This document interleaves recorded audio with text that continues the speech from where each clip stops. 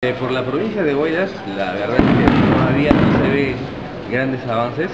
Eh, será de repente, digo, recién han transcurrido casi nueve meses de gestión. Esperemos que tenga agendado algo y dentro del Consejo Regional pues soliciten algo por la provincia de Huaylas.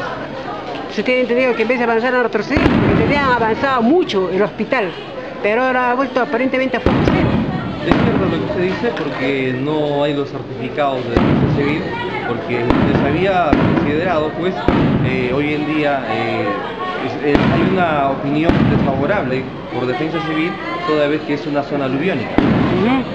Pero ¿no creen ustedes que hubieran hecho lo posible para que no pierdan todo lo que se había avanzado?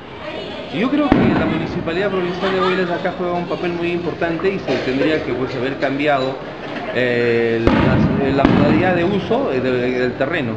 Ujú. Porque podemos tener antecedentes en, en Huaraz, antecedentes en otras provincias pues, donde han cambiado ya varios ter- terrenos en modalidad de uso. Hoy están sin nada.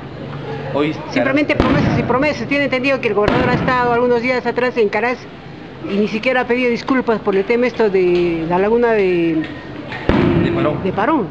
Y se ha ido a hacer una serie de ofrecimientos, parece que estuviese en campaña. Todavía parece que está sigue en campaña, no hay nada, no hay ni- ninguna obra de envergadura en la provincia de Huaylas.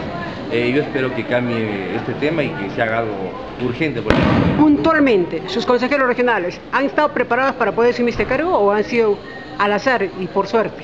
Mm, Yo creo que Usted, tiene usted dos consejeros, ¿ah? ahora hay dos consejeros eh, por la provincia de Huaylas. Eh, al parecer no, no están eh, al 100% trabajando. Que en el resto de los meses y al transcurrir el tiempo pues haga algo bueno por la provincia de Huaylas. ¿Y cómo está el alcalde? ¿Cómo va la gestión del alcalde de Caraz? Eh, no, en la provincia de Huaylas no tenemos ninguna obra de envergadura, no se ve la fecha, no hay ningún avance y continúa tal conforme que se ha ido el señor Renzo Martínez.